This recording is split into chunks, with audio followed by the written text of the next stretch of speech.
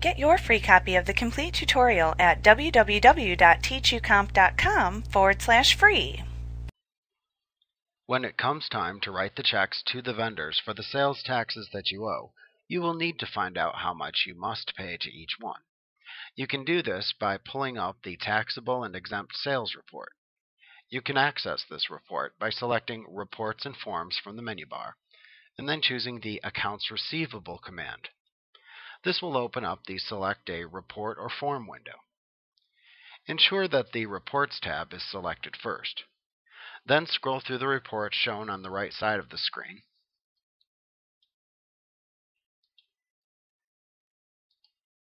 And preview or double click on the taxable and exempt sales report shown within the list.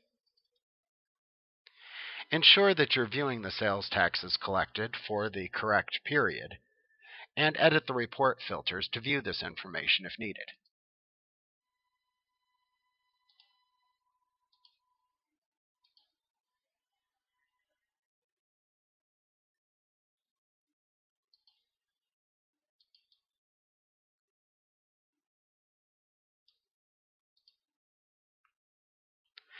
Note that this report lists the amounts that you've collected and what you owe for the accounting period for each authority that you have set up.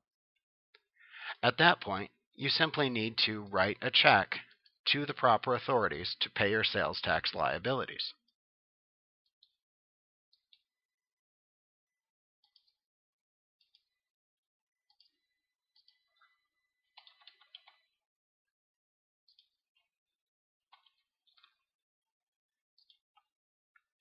When you create the check, just be sure that you select the sales tax payable account for the expense account in order to decrease its value when you pay your sales taxes.